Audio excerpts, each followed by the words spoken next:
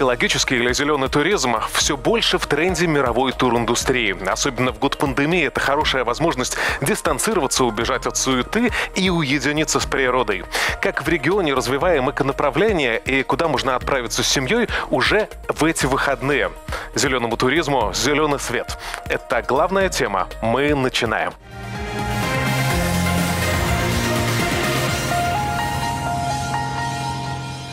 Итак, гости программы. Заместитель председателя Гомельского областного комитета природных ресурсов и охраны окружающей среды Павел Новиков. Добрый день. Добрый день. Директор республиканского заказника «Выдрица» Алексей Шутов. Здравствуйте. Здравствуйте. Экотурист, заведующий отделом Гомельского областного эколого-биологического центра детей и молодежи, председателя Гомельского регионального отделения Республиканского общественного объединения Ахова Птушек Батькушина Роман Хлебин. Здравствуйте. Добрый день и организатор сплавов на байдарках, хозяин агроусадьбы «Свидание» в Лельчицком районе Владимир Коркуть. Спасибо, что приехали. Всем здравствуйте. Как считаете, 2020 с ограничениями, связанными с пандемией, стал ли хорошим шансом для нашей туриндустрии, в том числе для наших заказников, нацпарка и других объектов э, туризма? Без сомнения, сложившаяся обстановка послужила толчком э, к развитию именно нашего местного туризма. Начиная с апреля месяца мы, скажем так, были немного в ужасе, потому что людей абсолютно не было. И это продолжалось до конца июня. Но в конце июня люди как-то пришли, наверное, в себя, после этой всей паники, и э, они начали к нам ехать. Причем, если э, мы упор основной делали в этом году надеялись на то, что будут массовые какие-то мероприятия, туристические слеты, байкерский слет. Как было в предыдущие Как было в предыдущие да? годы, то э, в этом году у нас были именно э, туры выходного дня, семейные туры, там небольшие корпоративы. То есть не было такой массовости. Самые максимальные там праздники были какие-то профессиональные, собиралось человек там 30-40. В основном это 5, 10 до 15 человек. Сегодня домики для проживания, насколько знаю, расписаны э, да. достаточно вперед, и выходные практически все комнаты заняты. Это говорит о том, что все-таки э, спрос увеличился в 2020-м. Да, как мне, я новый директор, поэтому, как мне э, рассказывали сотрудники э, нашего заказника, такая ситуация впервые. То есть раньше у нас полностью, что ни одного свободного номера, это был ну, раз в год когда байкерский слет там или что-то такое. Сейчас это уже каждые выходные. Владимир, у вас тоже туристов стало больше в 2020? Да, да, я тоже хотел сказать, я, я кстати, веду статистику так ежегодно. Э, допустим, за прошлый год у меня было там около 600, но это началось с марта месяца. Как-то вот реже было, меньше. Но в этом году прям, прям бум, вот с июня месяца начался. Ездят э, и корпоративами, и как и по два, и по три человека. В общем, бывает у меня на день так расписано, что вот ну, и это не только жители Гомельской области? Это не только жители Гомельской области. Вот были случаи, даже вот с Гродно приезжали вот на один день, и потом с ночевкой с утра уезжали. Потом снова приезжали, их же знакомые, и так вот с уст в уста. Я вам так хочу сказать, что кто первый приехал, вот это было вот 7 лет назад, тут ездит каждый год. То есть поэтому я считаю, что этот год, э, ну, в этом случае э, был очень перспективным, или, ну, как бы он еще и не закончился. Есть еще какой-то момент эксклюзивности. То есть Беларусь еще не стала таким вот мейнстримом на туристической карте Европы. И вот тоже, когда люди приезжают, они удивляются, что вроде бы как э, Европа, э, тут совершенно немножко другой уклад жизни, и природа не тронута. Есть, допустим, вот этот слоган «Беларусь свыше зашаканная», да, вы, наверное, да. тоже его знаете. Действительно, э, часто именно такие мнения, в том числе и ваши друзья туристы из соседних государств. Да, они очень многому удивляются. Они удивляются, как то можно идти через болото, и болото не кончается. То есть они привыкли, что там вот у них вот перевели их через болото в Европе, и все, там дальше дорожка пошла. Они удивляются, вот мы Новый год э, приезжал товарищ, он аргентинец в Испании живет, он удивился, мы в Новый год поехали на поезде на Доброславские озера, мы были одни в поезде, он за 15 евро мы купили поезд, он вот он в таком восторге был, он всем друзьям писал, вот. Роман, а вот интересно, как вы стали экотуристом? Почему не подружились э, с пресловутыми и достаточно популярными во всех странах Турцией, Египтом э, и прочими все включено? Не, ну, Турция, Египет, это, ну, наверное, все-таки скучно. Э, мне нравится самому выбирать место, куда я еду, самому планировать маршрут. Вот. И очень важно для меня, на самом деле, чтобы путешествие это было с какой-то пользой. Поэтому с какого-то времени вот у меня есть неплохой опыт уже поездок именно волонтерства в различных заказниках, заповедниках. То есть Как это не Беларуси, просто и отдых, даже если Беларуси, это да. отдых не совсем привычный Да. в массовом плане, но это не только отдых. все равно для меня это отдых, потому что это смена деятельности, это какие-то активности. Опять же, Чтобы было понятно, чем занимаетесь. Вот вы приехали, Вот раз- получили про- разные удовольствие от про- проект- природы. про- проекты были. э, Вот тут вот как раз на стене было недавно болото Жада. Мы там строили плотины, потому что это болото, которое когда-то осушалось, а сейчас э, идет обратный как бы проект по заболачиванию болота. Оно часто горит, и чтобы пожары вот прекратились, мы там строили искусственные плотины из торфа, чтобы это ну, снова гидрологический режим на болоте восстановить. Вот там тоже были кадры, это Северный Урал, мы туда ездили, э, там есть национальный парк ЮГ-2, э, у них много экологических маршрутов в таких очень труднодоступных местах, и мы ездили на эти маршруты. Уже для коммерческих групп, которые следом за нами шли, заготавливать там дрова, готовить домики, то есть подготавливать маршруты. Э, В Полистовском заповеднике в России мы участвовали в экспедиции Российской Академии Наук, то есть там у них были спутниковые снимки, нужно было помочь им выкопать почвенные разрезы на достаточно большой территории за достаточно короткий промежуток времени.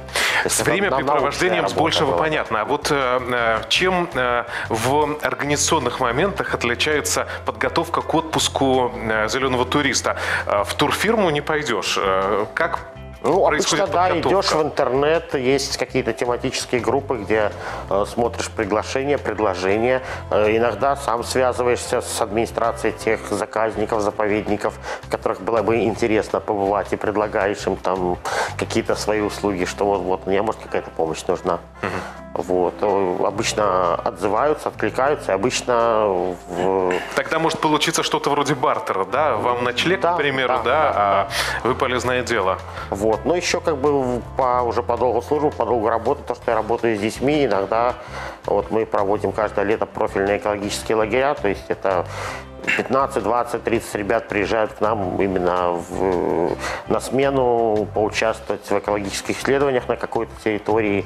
И мы тоже стараемся, чтобы этот маршрут был интересный, его как-то связать с какими-то интересными местами, с интересными территориями. Вот получается в этом году вот вирус нас немножко ограничил, да, наше движение. В прошлом году как раз таки в мы э, делали лагерь, у нас была экспедиция, к нам в гости россияне с Калуги приезжали, и мы проводили экологические исследования на территории заказника Выдрица и там в Светлогорском районе еще. Буквально коротко, в качестве в том числе подсказки для зрителей Беларусь-4, что по-доброму впечатлило больше всего за вот э, ваш достаточно значительный стаж экотуриста?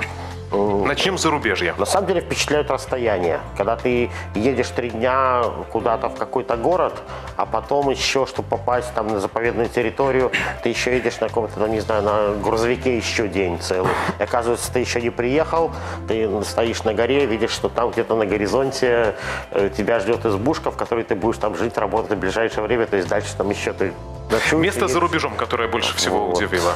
Полярный Урал, наверное. Вот три года назад было, до сих пор по впечатлениям от Полярного Урала. Говоря про Гомельскую область, вот что порекомендуете зрителям Беларусь-4, а, к примеру, в ближайшие выходные? Куда можно съездить? Ну, у нас на самом деле в области очень много интересных маршрутов. Э, В ближайшие выходные рекомендую Припять. В этом году Припять это тренд. Мы делаем много байдарочных походов по этой реке.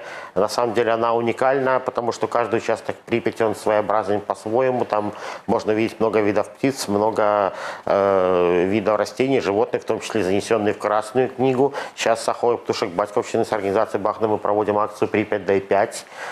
И как раз там вот есть задание именно найти место обитания краснокнижных птиц и краснокнижных растений, которые вот обитают на территории Припяти.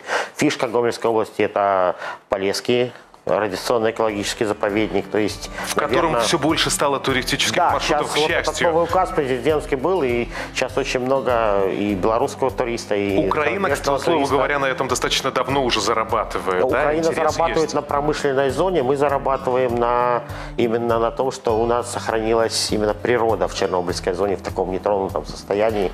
То есть вот этот маршрут. Э, Конечно же, Выдрица, Березина, там вот новый мемориальный комплекс появился на месте САЭ сожженной деревни Алла. И теперь можно сказать, что оформился маршрут такой эколого-патриотический. То есть это Красный берег в Жлобине, это Выдрица, это Смычок заказник. Это можно потом поехать в то место, где мемориал на месте начала операции Багратион. То есть На прошлой неделе встречались с главным врачом э, санатория «Серебряные ключи». И когда он приехал непосредственно к нам э, на экотурбазу речи, э, в процессе разговора мы обсуждали различные идеи, различные планы. И очень понравилась э, его идея о том, что он предложил, говорит, послушайте, говорит, у вас все красиво, у вас есть все возможности, а нашим э, клиентам выходные дни скучно. Поэтому они готовы, ну это на будущий год э, в планах стоит, они готовы приобрести байдарки и осуществлять сплавы непосредственно с подключением на по маршруту там э, экотурбаза Уречья до непосредственно самих э, серебряных ключей. Кроме того, мы собираемся проводить как экскурсии, так и э, пешие водные маршруты по нашим экологическим зеленым тропам. Павел Владимирович, часто приходится слышать Беларусь, нетронутая природа. А вот действительно, э, какое количество э, в первозданном виде территории осталось, к примеру, в Гомельской области? В настоящий момент у нас функционирует 127 особо охраняемых природных территорий. Э, Занимают они довольно значительную площадь, порядка 300 тысяч гектар.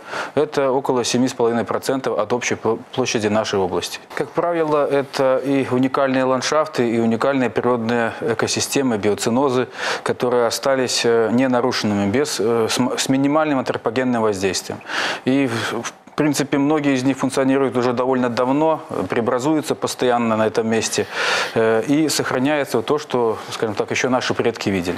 Мы подчеркнем, что доступ для человека не закрыт, но все-таки особо охраняемая природная территория – это и особое правило нахождения человека на них. Все верно? Безусловно, есть определенные ограничения. Они установлены как статьей 24 закона об э, особо охраняемых природных территориях, так и положением по каждому из заказников или нацпарка. Ограничения, в принципе, довольно понятные для граждан. Это запрет на размещение палаточных лагерей, одиночных палаток, запрет на разжигание костров, но, подчеркну, за исключением мест в границах Где это этих- разрешено, где например, если определено. выдрица выделила территорию под это, то там можно. К сожалению, Выдрице нет такой возможности и права выделять. Она только э, продвигает эти идеи в райисполком, а уже местные органы определяют данные места. Но такая площадка у вас тоже есть, да? Да, имеется это озеро Белогорское и Кривое. Там у нас находится 6 мест отдыха, которые оборудованы э, беседками, местами стоянки автотранспорта, мангальной зоной. Выдрица – заказник республиканского значения. Вот к чему это обязывает э, вас, ваших коллег, в том числе посетителей? Ну, начнем с того, что это особо охраняемая природная территория. И наша задача состоит в чем? Это охрана. Не то, что даже контроль, там, патруль. Это тоже профилактика правонарушений. Кроме того, мы занимаемся также и экологической деятельностью. Допустим, такой пример. Вот две недели назад э, с нашими практикантками э, с университета Скорины, с геоэкологами, мы обнаружили э, краснокнижную птицу, которой у нас не было зарегистрировано. Это черный коршун. Было очень интересно, мы уже сообщили эту информацию для подтверждения, что это действительно черный коршун э, Белорусскую академию наук. Они дали, сказали «да». Ну, дальше будем действовать. Заказники – это все-таки еще и туристические объекты. Какие условия для нахождения на сутки, двое э, созданы, к примеру, в вашем заказнике? Ну, э, у нас экотуристическая база. Э, Она оснащена жилыми комплексами, причем они очень комфортабельные, с водой, со светом, с кондиционером, совсем вместе. Также имеются беседки, мангалы, освещение, вода, бильярд, другие услуги мы оказываем. А Водные прогулки осуществляем, экскурсии вдоль э, берега реки Березины. Людям очень нравится. Заказники э, равно эко-маршруты, ну вот, по крайней мере, э, в э, понимании большинства. А какие эко-маршруты сегодня пользуются наиболее популярностью? В этом году мы еще, кстати, они в процессе разработки, но они уже пользуются популярностью. Это два зеленых маршрута. Э, Первый маршрут водно-пеший, называется Волод урочище э, Тесновля. Этот маршрут ведет э, к Дубу. Дубу ориентировочно 350-400 лет. Э, Места красивые. Замечательно все. Второй маршрут, как вот мой коллега уже упоминал, это зеленый маршрут, он эколого-патриотический. Проводили мы его непосредственно от переправы деревни Сдудич и на мемориал Алла. И э, проводили на основании э, топографической кар- карты 1936 года. То есть где э, непосредственно шла дорога э, со Сдудич на Аллу. Потому что именно по этой дороге э, население шло в эту деревню, пряталось от войны, пыталось прятаться. Насколько я знаю, а, стоимость размещения вот в таких домиках а, ночь в районе 15-20 рублей. Как объяснить, что жители Минска чаще приезжают, чем, э, к примеру, гомельчане? Даже не знаю, как объяснить это, но когда ко мне приехали минчане вот в прошлый раз, они э, замечательно провели э, трое суток и сказали, говорит, слушайте, с такими условиями, с такими ценами мы готовы к вам приезжать, было бы время э, целый месяц каждые выходные. Говорит, и нам обошлось бы это дешевле, чем один раз ездить куда-то под Минском, там, где все включено. Павел Владимирович, а, а вот что касается организации рыбной ловли и охоты, это тоже возможно, либо все-таки под запретом? Фактически по данным видам деятельности запретов нет. Э, Единственное ограничение – это использование маломерных судов в границах э, водных объектов заказников с э, моторами не более 15 лошадиных сил мощности. Уверен, что то и дело встречаются нарушения, я так понимаю, по большей части по незнанию. Какие это чаще всего нарушения? Чаще всего нарушение режима соблюдения охраны особо охраняемых территорий, выразившееся в проезде автотранспорта вне дорог, в разбивании платочных лагерей и захламлении береговой полосы, ну, как правило, береговой полосы отходами. Это наиболее частые. Э, В основном работа, в том числе и государственных охранных учреждений, ведется на профилактику таких нарушений. И в настоящее время количество протоколов э, не так высоко по данным нарушениям. В большинстве случаев пытаемся людей образумить, уговорить и идут на поводу, скажем так, устраняют данное нарушение и, И продолжают уходят от, в уход- удовольствие. уходят от ответственности. Да. Как еще заказники региона развивают туризм и науку? Продолжение темы в коротком репортаже от моих коллег. Внимание на экран.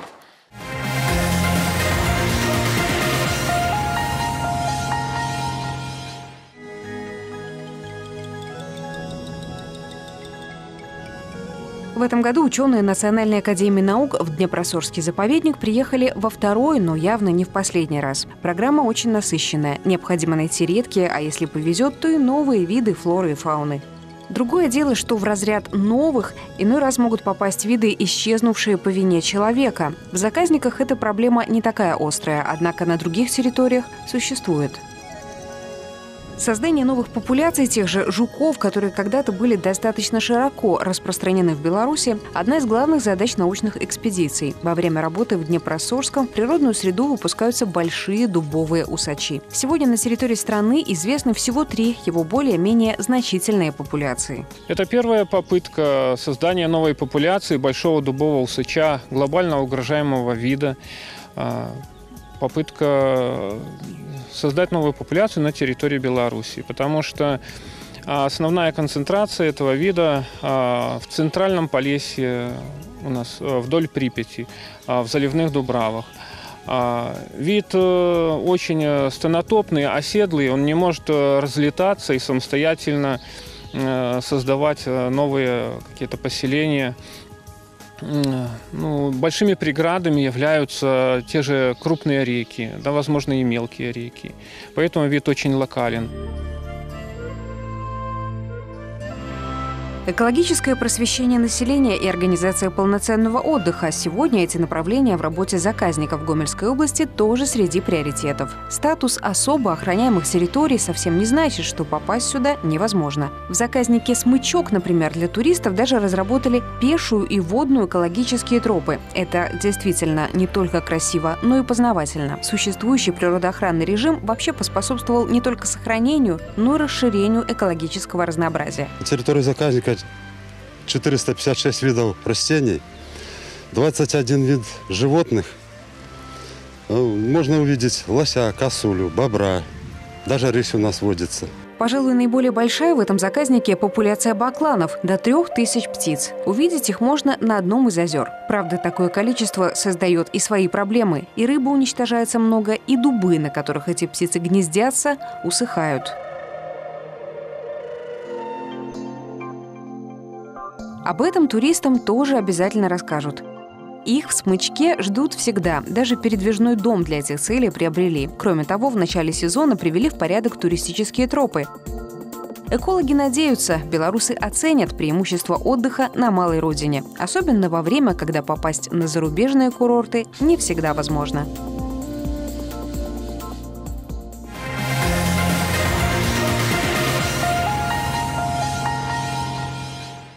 Это главная тема. Мы продолжаем. Павел Владимирович, а дом на колесах. Как вам такая идея коллег? Оправдал ли себя эксперимент, как понимаю, 2020 года? Ну, сказать, если честно, это вообще была моя идея закупить данный дом. Э, такой практики, ну, по моим сведениям, нет вообще у нас в пределах, я имею в виду, государственных предохранных учреждений. Действительно, это оправдало себя. С этим домом, где за минимальную стоимость от 10 рублей э, в сутки с человека... 10, 10 рублей, рублей в сутки на член человека. Вам не нужна ни палатка, скажем так, у вас крыша над головой, уже комфортное, белье там, и так далее, все это обустроено. При этом э, сам по себе дом, он вынесен за пределы населенного пункта, довольно значительно на полтора километра, и вокруг тишина, и нет людей, нет света, нет ничего. То есть, кроме Само озера. расположение дома, его можно менять. Вот хочешь проснуться и увидеть э, реку, закат и так далее, дом ставят сюда. Хочешь э, другую местность увидеть, перемещают. Либо все-таки э, место расположения стационарное? Ну, на текущий момент его место расположения в таком в уникальном месте. И, в принципе, все то, что вы обозначили, все там все есть. есть. Но по желаниям заказчика с дополнительной плату, конечно, его перевезут и в иное место. Около трех тысяч бакланов только в одном заказнике смычок. Согласитесь, для природы не самый безобидный сосед, ведь так? Действительно, есть определенные негативные от этого последствия. Основное из них это усыхание дубрав. Но мы вот э, уже для себя за наш период только наблюдения отметили, что те дубы, на которых ранее селись бакланы, да, они упали, сгнили, но за счет вот этой почвы насыщенности питательными веществами подрост э, вырос ну, просто в разы быстрее, чем э, на соседней территории. И я думаю, что на данном месте лес восстановится очень быстро. К слову говоря, опыт зарубежный подталкивает нас даже из этого выжженного леса сделать туробъект, к примеру, в соседней соседней Литве по такому пути пошли. Не случайно бакланы выбрали данное место для поселения. Это слияние Березины и Днепра и сотни стариц, озер, э, в принципе, изобилующих рыбой. И э, в отличие, допустим, от города Гомеля, э, на этих и озерах, и реке вы не увидите ни одной снулой рыбки. То есть все это подбирается.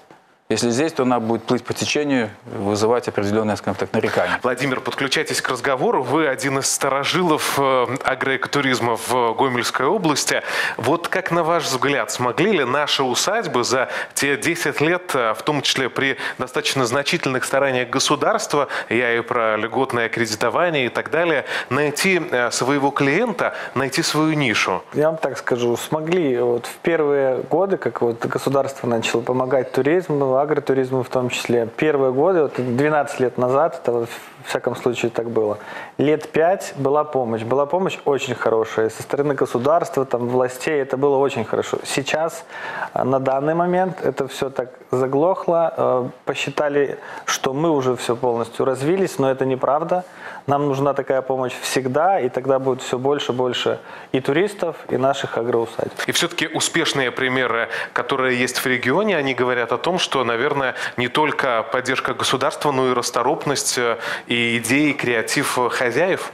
Да, конечно, да, и креатив хозяев, потому что как всегда ищешь какой-то новый путь. Если уже там вот в охоте немножко у нас пути закрылись, угу. ну так мы вот ищем другие пути. Вот ищем в, в туризме, в байдарках. Водный туризм. Взяли свою маршрутах. нишу э, в районе в этом плане, да? Чем удивляете гостей Лельчинского района? У нас э, очень Симпатичная, очень экологическая река Уборцы. Можно сказать, самая чистая. На нем, э, на этой реке нет ни одного производства. А, У нас э, в районе есть, вот, можно сказать, четыре маршрута, которые вот я подразделяю на четыре маршрута, которые есть разные.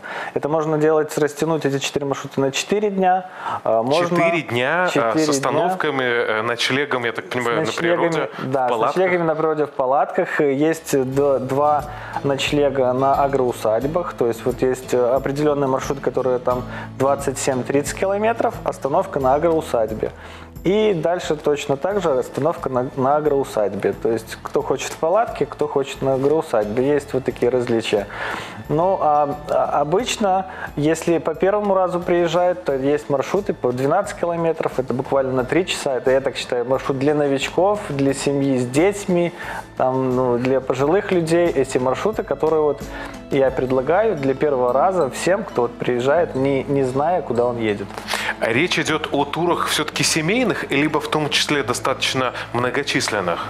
Ой, даже э, были по одному человеку, были семейные, многочисленные, даже корпоративы. То есть, ну, у меня я могу принимать от одного человека до 20 человек. И всем, всем, я же еще раз говорю, гостеприимство уделю всем.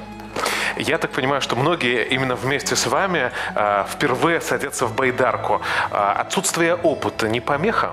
Ведь все-таки техника безопасности, опасения, страхи любого новичка. Есть опасения, страхи, есть люди, которые и плавать не умеют, и вообще на воду боятся, но а, ну, чуть-чуть, чуть-чуть маленькой эм, э, объяснить, как это делать, эм, одеть, естественно, жилет, убедить.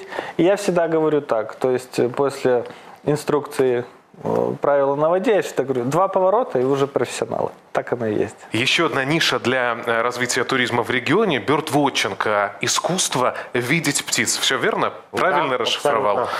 Как считаете, Роман, может ли э, эта сфера стать источником дохода для наших регионов? Абсолютно может и, возможно, уже и Кое-где уже и работает. Потому что, допустим, вот у Хоуптушек Батьковщины есть такое коммерческое подразделение «Водно-болотный центр», который занимается приглашением иностранных туристов к нам в Беларусь на Бёрдвотчинг. И тоже в этом сезоне вот коронавирус немножко, а так обычно все на лето расписано.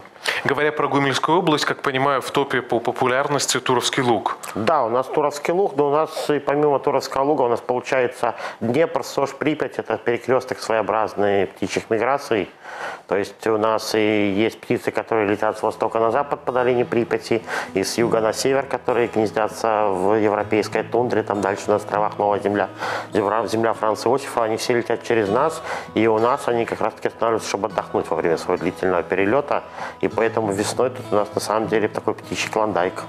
Вот интересно, а люди приезжают э, за определенным видом птиц а, или все-таки как повезет? По-разному. Бёрдвотчинг такое хобби, вот оно к нам еще только приходит, а на самом деле, да, многие иностранцы конкретно гоняются за количеством видов.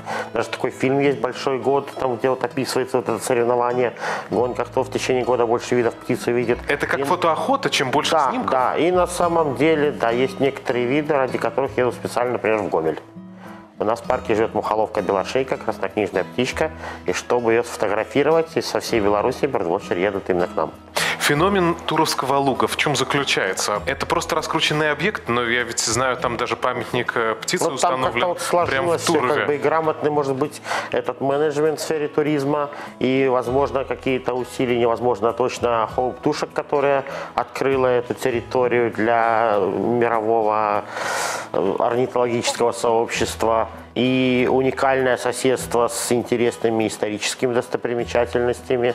Ну и на самом деле, да, вот такое место оказалось, где на самом деле можно встретить очень большое количество птиц именно в весенний период, перед весенней миграцией. Люди приезжают смотреть за птицами, а от этого выигрывают целые территории. Ведь э, эти туристы должны где-то остаться на ночлег, э, сто процентов где-то будут кушать, возможно, узнают про туры Владимира, отправятся потом на байдарках, а тут их подхватят в соседнем заказнике. И так это путешествие, чем дольше будет э, пролегать по территории Гомельской области, тем больше регионы э, Да, этого по-хорошему для. Беларуси это должен быть такой экотуристический кластер, где э, может приехать турист, получить разнообразный спектр услуг, увидеть э, разные достопримечательности, оставить какие-то средства здесь. Потому что даже вот опыт подсказывает, э, самодеятельные походы, даже некоммерческие походы, в среднем все равно каждому участнику обходится порядка 100 рублей. То есть вот мы едем на Припять, участвуем в акции Припять Д5, там где-то аренда лодок, где-то э, ночлег, где-то просто даже приобретение продуктов в магазинах по маршруту похода для того, чтобы потом самим их приготовить. В целом это вот каждый человек, который с нами идет, вот крайний поход эти выходные 21 человек с нами сплавлялся, Ясель до Припять. Каждый где-то оставил 100 рублей в том или ином виде на этом маршруте денег, и они попали, получается, Остались на тех на территориях, территории да? области, да. А, вот все-таки экотуризм, зеленый туризм, это туризм экономичный или далеко не всегда? Далеко, наверное, все-таки не всегда, потому что, да, мы все хотим, может быть, сэкономить, думаем, там, вот, сами можем, там, снаряжение тоже денег стоит. Байдарка стоит денег не маленьких. И все-таки одно дело, если ты тоже дома все-таки да, путешествуешь, а другое, когда за покупаешь, да. То есть можно сказать, что он вроде бы как экономичнее, но все равно в целом вот этот мультиплицирующий эффект э, приводит к тому, что все-таки затраты в любом случае человек несет. Россияне приезжают и, и берут не то, что по 10 мешков картошки нашей белорусской, потому что у них реально она невкусная. Приготовленной картошка, либо прям нет, сырой? Нет, сырой. Ну, приготовленную пробуют, но берут сырую мешками. Просто берут мешками. То же самое мед. Э, Я, ну, за сезон, не знаю, ну, банок 20 точно. Вот мне заказывают россияне трехлитровых, и забирают нашего меда белорусского. Да, Тыквенные это- семечки, в том числе и это, Семечки, в том грибы числе и это, э, и, конечно, национальная кухня. То есть сегодня благодаря развитию чужого бизнеса, к примеру, вашего, могут заработать и местные жители, не имеющего отношения э, к там, бизнесу. Да, и бывает даже зарабатывают очень хорошие деньги. На, ры- на рынке за такую стоимость не продашь, как туристы покупают. Роман, вы достаточно много объездили. Вот э, опыт какой страны э, в развитии и построении модели экотуризма стоило бы взять на вооружение и нашему региону, и Беларуси в целом, как по-вашему? Ну, на самом деле, мне очень понравилось, как это все организовано в Грузии. Хотя они тоже модель, по-моему, немецкую взяли для себя. Вот. э, Мне очень понравилось там, что вот прибыв конкретно в регион Боржоми, там такая стоит будочка, туристско-информационный центр. Вот зайдя туда, ты знакомишься с человеком, который там работает. Э, Он помогает тебе найти проживание, он тебе рисует карту, куда можно сходить, где попробовать национальные блюда, где... В общем, ты приехал, ты у него зарегистрировался, он же тоже тебе скажет, какой ты в этом году белорусский турист по счету и какой ты вообще турист по счету в этом регионе. Даже если Вся это придумано статистика в- в этот нет, момент. Нет, это не придумано, Всё это чётко. в компьютере все зафиксировано. То есть мы там узнали, что вот нас, белорусов, мы на 14 месте среди всех стран по посещению, ну, среди всех гостей Грузии, там уступаем россиянам. Там, Ну, не только ж, израильтянам, наверное, да. потому что там есть Вот. инфоцентр. И э, все, опыт. и вот этот вот инфоцентр он нас поддерживал полностью на время, за все время, пока мы в этом регионе находились.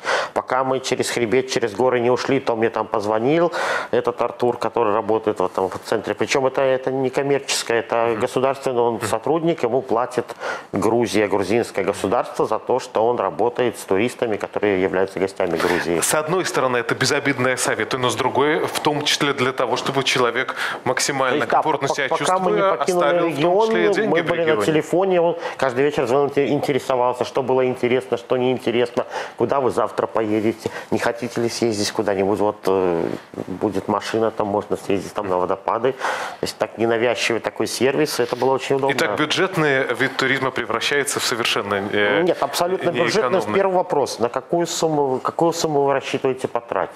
Мы, чем меньше, тем лучше. Он говорит, вот есть гостиница, она как бы не работает, но там есть комнаты.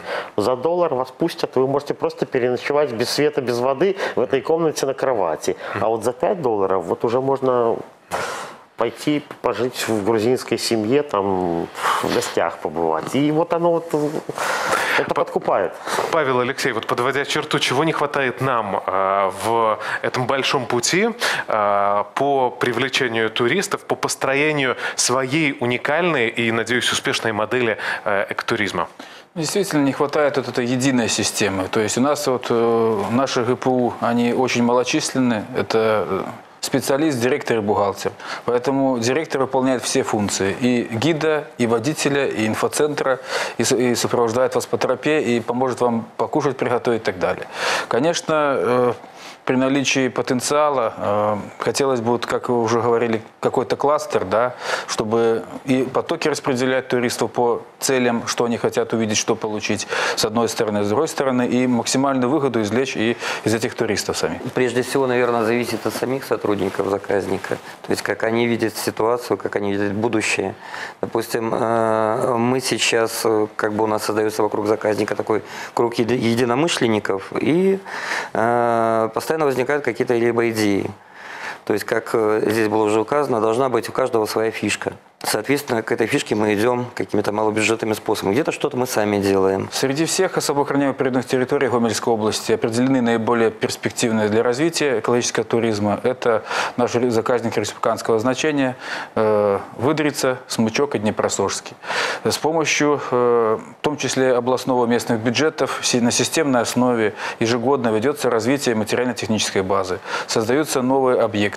Вот в настоящее время, например, в Выдрице идет модернизация, э, значит, даже не модернизация, а создание визит-центра на базе неиспользуемого э, здания бывшей столовой. Этот объект позволит э, ну, добавить свою изюминку и при- привлечь э, более разнообразными возможностями э, туристов на свою территорию. Помимо того, что вы там можете и, говорится, перекусить в уютной обстановке, посмотреть фильм про заказник, то вас там и проведут инструктаж по экотропам, и всю палитру, весь спектр услуг вам расскажут именно вот, при наличии визит-центра. И еще важный плюс, э, говоря про ночлег, мы сегодня уже слышали эти цифры, реальная цифра э, 2020 года. Ночлег от 10 до 100 э, рублей, э, то есть может позволить себе и компания, ориентированная на бюджетный отдых, и на тех, кто хотят э, действительно комфорта. Конечно, тем более э, наши заказники расположены на территории, скажем так, довольно промышленных центров, как Жлобин, как Светлогорск, как Гомель.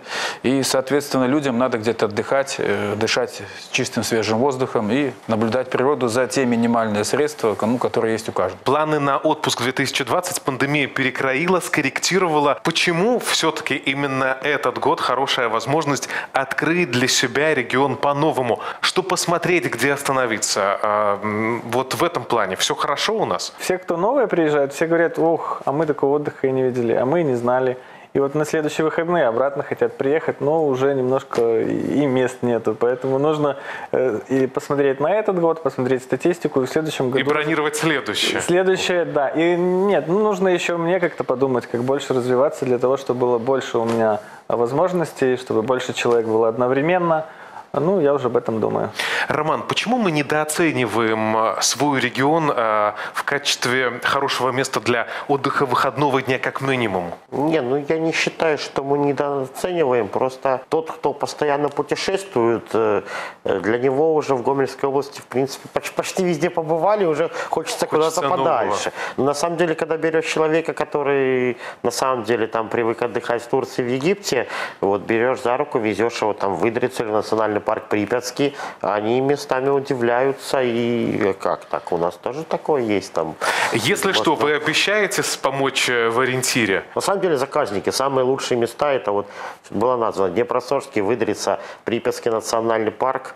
Там природа вот такая вот. И люди там вот такие вот живут. И очень приятно с этими организациями сотрудничать, потому что они всегда идут навстречу в плане, вот я организатором детского туризма являюсь. То есть вот мы находим общий язык и всегда очень, очень получается все отлично. Итак, это были наши выводы. Сделайте свои. На этом ставим точку. Встретимся ровно через неделю здесь, в студии на Пушкина 8. До встречи.